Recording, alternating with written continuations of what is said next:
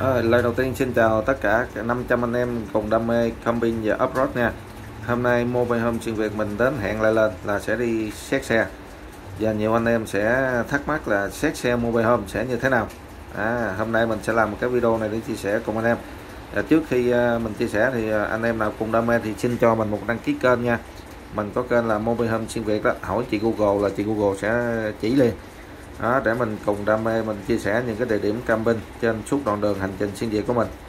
Những địa điểm mà mình ờ, cảm thấy ờ, vui và thú vị mình sẽ chia sẻ cho anh em. Anh em nào có thắc mắc cứ liên hệ số điện thoại mình sẽ trả lời tốt tuần tuột nha.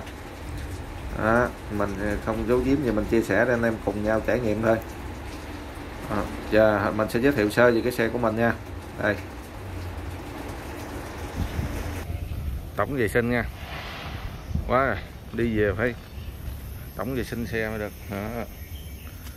đồ chơi đây, máy đây đầu câu đây nêm hơi tàu á. Anh đây hầm chứa nước nha. Hầm chứa nước Pepsi. Tủ quần áo. Đây là phi nữa 5 phi chứa nước đựng trăm rưỡi lít này là máy nước lọc, máy nước lọc robot đây. Đây là cái bàn ống dẫn nước đó, lọc nước một bên là rửa chén một cái vòi nhỏ đó là à, nước lọc uống. Cái labo rửa chén một bên. Cái dưới này là cái tủ lạnh 65 lít.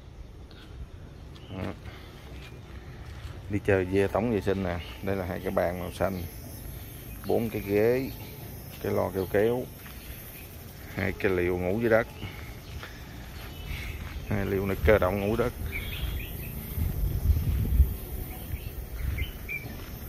Năm cái áo phao hai cây võng hai tấm bạc tăng. Hai tấm bạc tăng để che nắng che mưa. Ừ, hai cái liều ngủ dưới đất. Này là nệm. Nệm này nệm đằng sau. Nệm này nệm đằng trước. Mỗi mỗi giường được ba người ngủ. Đó, mền đây là những cái đồ đi về còn bề bộn quá chưa dọn xong. Đây tủ lạnh nha. Tủ lạnh 65 lít. Pin hơn nữa. Ken. Đồ nghề còn thùng chưa uống. Với nó cái gì nữa đây? Quá trời mà lăn luôn. Hai cái bình. Hai cái bình 200 ampe một tấm năng lượng mặt trời.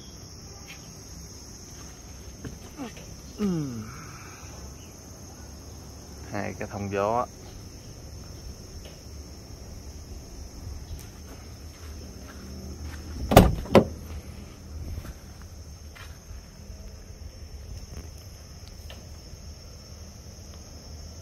À, trên xe rất là ầm bà lằng ha nhưng thật ra là nó phục vụ nguyên cả chuyến đi của mình nha. Rất là hữu ích. Mình đã đi xin việc một lần rồi và đồ đạc như vậy rất là tiện ích chứ không cần phải đóng học đóng tủ đóng đủ thứ các kiểu. Cuối cùng nó không phục vụ được gì cho mình.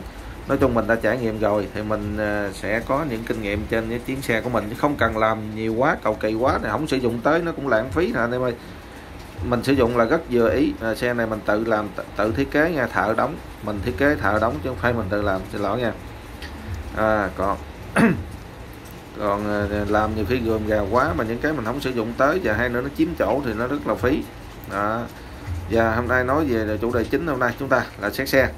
Thật ra thì ờ, nó xét xe cũng đơn giản lắm.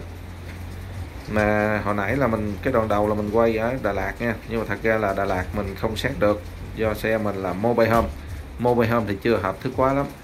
Ở Việt Nam mình chưa hợp thức quá nên mình đã về một cái địa điểm khác và xét xe thì anh em nào cũng ờ, mình cũng theo theo dõi nhiều lắm rồi mà không thấy anh em nào đưa video xét xe lên hết.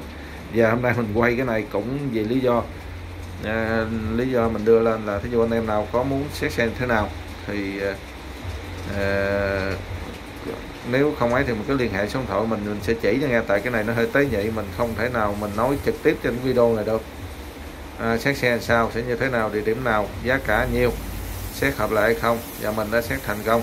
Đó và trước khi trước khi xét thì mình cũng phải ờ, ờ, rửa sửa soạn rồi lại cho xe nó đấy nha. Nhiều người mình thấy đi xét xe mà uh, xe nó để ầm mà lằn rồi nó dơ rồi nó giống như không có tôn trọng người xét xe chỗ nào hết.